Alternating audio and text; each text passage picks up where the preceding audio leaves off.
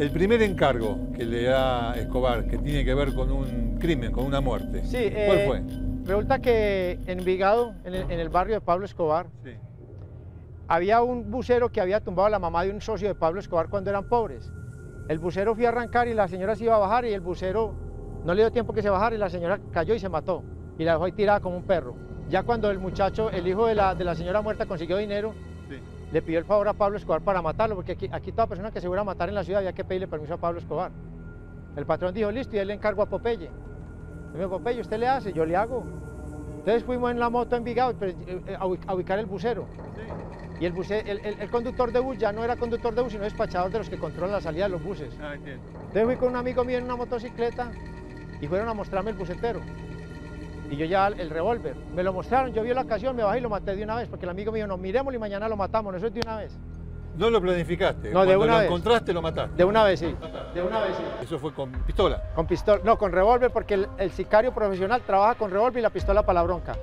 Porque el revólver, el revólver, eso, ¿eh? el revólver, si le sale una bala mala, sigue volteando. Sí. El tambor. El Y tambor la- sigue. Sí, y la pistola. Si a usted le sale una bala mala y se le encascara, y en, la- Claro. y en medio de la bronca es muy difícil de, de destrabarla. Vos, Se- vos nunca tiraste al cuerpo. Al cuerpo no, yo trabajo de- trabajaba de las cejas para arriba, porque soy un asesino profesional. Trabajaba de las cejas para arriba, porque soy un asesino profesional. Cuando vos decís profesional, eh, ¿te referís a que lo sabías hacer muy bien o a que cobrabas plata por eso?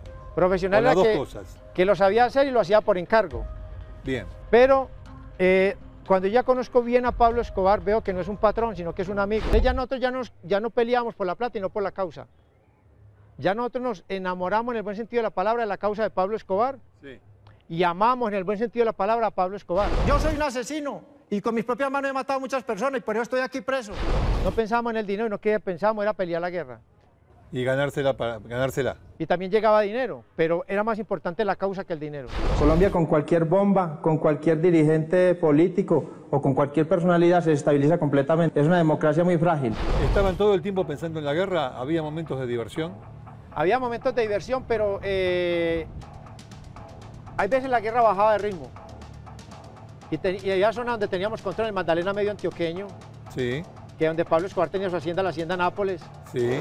Y hay zonas selváticas, y llevaban mujeres, el patrón traía prostitutas del Brasil, traía mujeres de Argentina también, sí. mandaba su avión Liarjet. ¿Y a quién le encargaba el tema de las mujeres? a un, a un, a una- a un homosexual, la, la Macuac, que le manejaba ese tema. La mujer era espectacular, el patrón se divertía con eso. La mujer siempre ha sido el trofeo del guerrero. Y entre más guerrero, más bella la mujer. Mucho más guerrero, más bella la mujer. Porque un guerrero no va a abordar una mujer que no sea agraciada. Pero el guerrero, guerrero como Pablo Escobar, el trofeo era las mujeres más hermosas del mundo entero que le llegaban a él.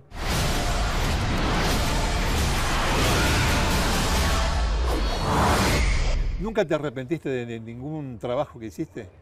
Realmente para la época no. Porque como a mí me mataban amigos, me mataban familia, en la guerra me, me dinamitaban las propiedades, yo veía caer mis amigos, estamos era peleando. Y usted sabe que en época de guerra no se escucha misa. Cuando es guerra, es guerra. Y a mí me gusta vivir en riesgo.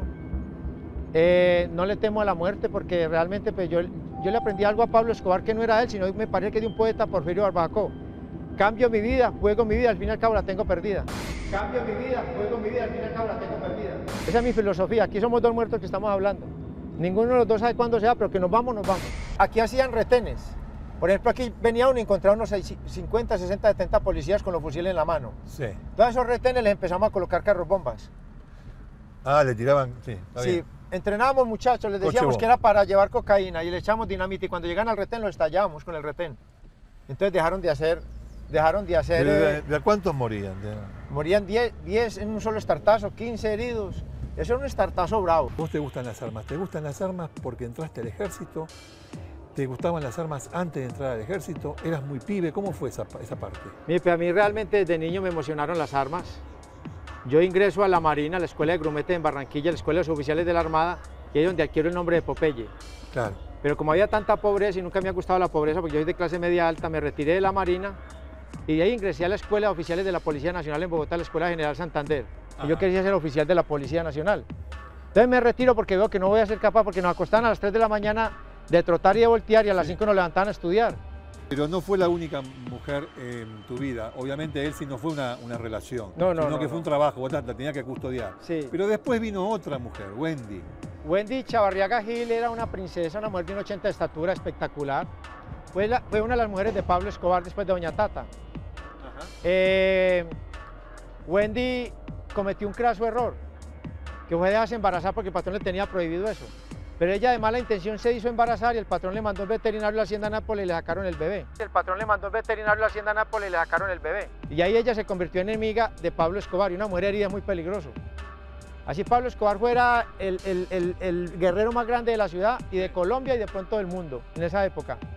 Y ella iba por encima de él y ella me enamora a mí para que en el momento que yo le diga a ella que yo sé dónde está Pablo Escobar o que me voy a encontrar con Pablo Escobar, ella me entrega a las autoridades, me torturan para poderle llegar a Pablo Escobar. Te enamora ella a vos. Sí, me enamora ella a mí y yo caigo como un bobo. El patrón entra a investigarla a ella y le interviene el teléfono. Y es cuando descubre que ella está hablando con miembros del bloque de búsqueda. ¿El bloque de búsqueda qué era? Policía Nacional, Ejército, DEA, CIA, enemigos nuestros que están en la ciudad de Medellín para combatirnos a nosotros. A ustedes. Sí, Sí.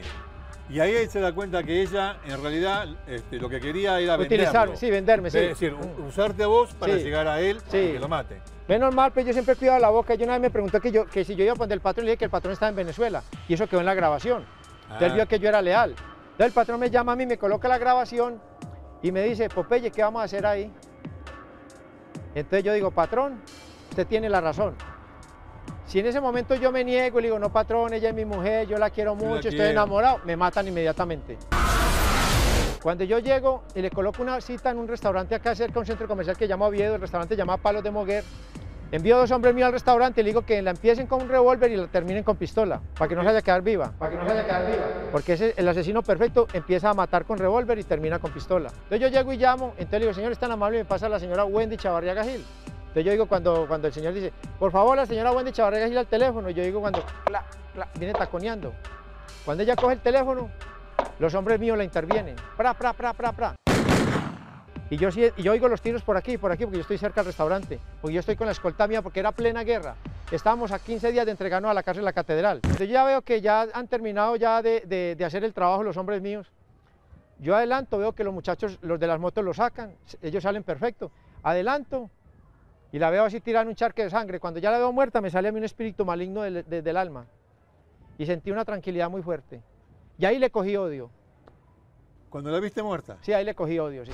Dentro del cartel de Medellín, Pablo Escobar colocaba al mejor amigo de uno dentro del cartel de Medellín para que lo matara. Para que se acabara la bronca. Pero al mejor amigo de uno le explicaban por qué lo iban a matar a uno. Y si el mejor amigo de uno iba y le contaba a uno, se morían los dos. Era una, una- un código de, de lealtad muy fuerte. Pero es muy duro eso, ¿eh? A mí me tocó matar a los mejores amigos míos en la mafia. Por eso se llama mafia. Hoy no se llamaría el convento las hermanitas descalzas, esto es mafia. Yo estaba joven, era guerrero, muy, era muy más guerrero que ahora, lleno de adrenalina, de dinero, armas, poder. Porque cuando uno mata, uno, se, se- se- uno mismo se, se cree Dios, porque uno toma la decisión de una persona que muere o vive. Porque cuando uno mata, uno, se, se- uno mismo se, se cree Dios, porque uno toma la decisión de una persona que muere o vive.